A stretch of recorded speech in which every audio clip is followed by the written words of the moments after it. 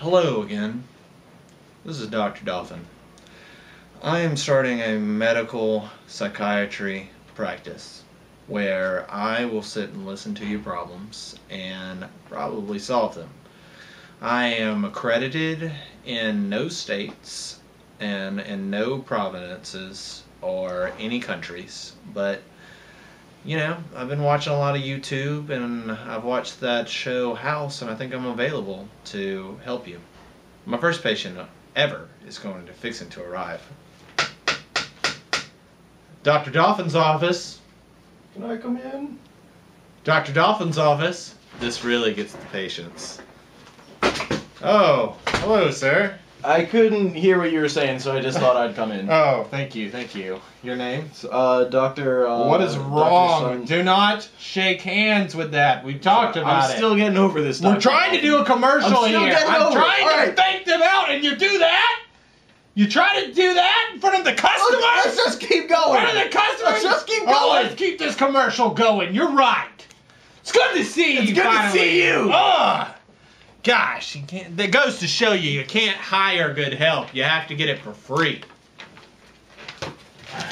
All right. All right. Hi, Hi. What is your name? Doctor Sun. Wait. How many legs does a hobo spider have? Um, eight, just like Is every it- other spider. Is it an arachnophobia? Hmm. Have you ever put the sweat in a jar?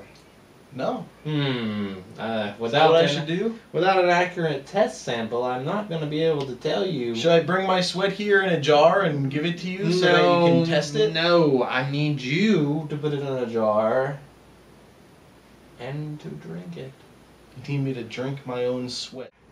You were trying to watch the Hulu Plus so you could catch up on the Glee that you love so much. Look, Listen, you love Glee. you And- promised you wouldn't bring up the Glee thing. Well, you love it! I love it because I am tired of waking up in the middle of the night hearing you sing Journey. Okay? I'm all about Boston. You are not the psychiatrist here. Obviously, you're sitting on a couch. How did All you get those- shot? Obviously, that bullet was meant for me. All the got- I went to I went to your house before. You have two stories that you tell me when I'm there. Are you playing games with me? Oh, you're crying. Oh, you can't talk about this anymore. How do you feel? I feel terrible. Well, I feel where- worse than I did when I came in. Oh, would you say you look more like the dinosaur Those little, Yenote! little girl or cassette face? Yeah, okay. Your practice is over. Okay, you get on the hey, hey, couch. hey, all right. Sorry, I didn't realize you were in here. Oh, you didn't hear us? The first step in psychology is learning to suppress things. Are you sure? Yes, I am. I am a doctor. Hello? Yes. Yes, like I said. You're I not want allowed to to be in here. Well, um, Mrs. Triss is in here. I don't know where she. We, we don't know where she is. The doctor.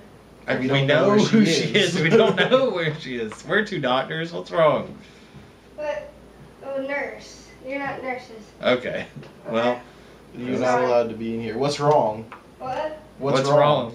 John said I need to come here because I had sunburn. oh, well, I don't know where she is.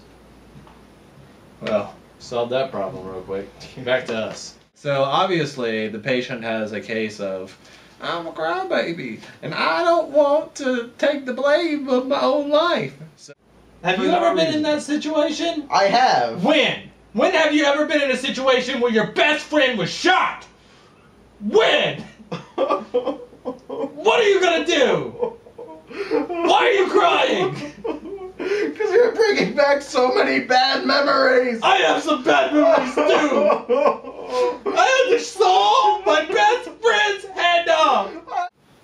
But when you cut off my hand and replaced it with a hook, you told me that people were going to think I was beautiful. No, you've got one eye. You're looking into the mirror. Now say to yourself, I have one eye.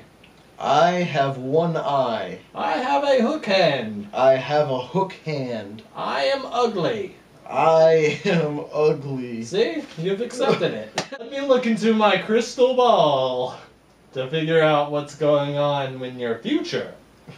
Your problems. But first, let me tell you to call 1 800 Dr. Dolphin for your psychiatry needs. Go ahead.